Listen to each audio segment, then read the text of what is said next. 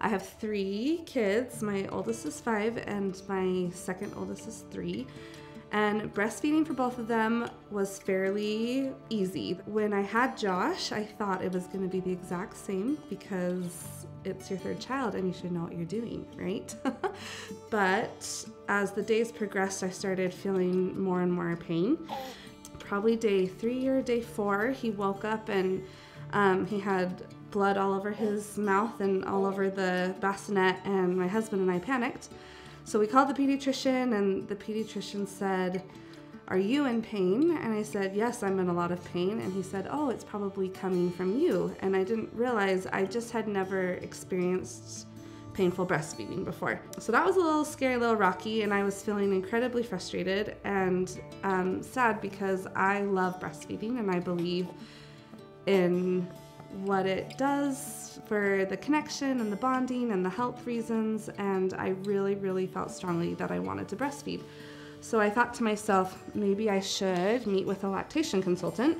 So I called and I wanted to be in person. That was something I felt really strongly about.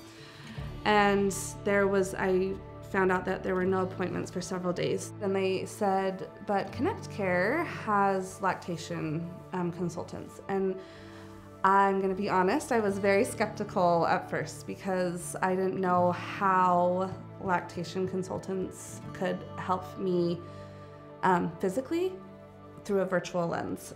I said, okay, this can hurt, it'll be great. And so just the convenience of having that in my own home with my husband um, was definitely intriguing to me. And also on that day, it had snowed a ton and I wasn't looking forward to driving, you know, 25 minutes away to my nearest hospital. I um, was really tired. I was in the foggy newborn phase. We met with a woman named Laura and I'll be forever grateful for her because she um, sat with us for an hour and a half and worked through appropriate medications I could use to help restore the skin around my nipples. She was able to look very clearly at my latch and fix his latch. And a lot of this was very helpful because I did have my husband there, and so he was able to um, maneuver the camera in ways that um, allowed her to be able to get the best possible view.